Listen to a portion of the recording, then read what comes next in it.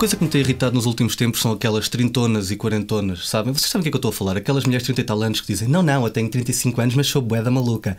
Não, não és, ok? Minha menina, não és. Ser maluca, ser maluca é acordares num descampado sem saberes o que é que fizeste nos últimos 3 dias, teres uma katana na mão direita, a mão esquerda algemada à estátua partida do Fernando Pessoa, teres a cabeça apoiada no corpo decapitado do Toy, 3 gramas de coca no bolso, pensares que o teu pai é o Rasputin e o teu namorado é o Napoleão, ok?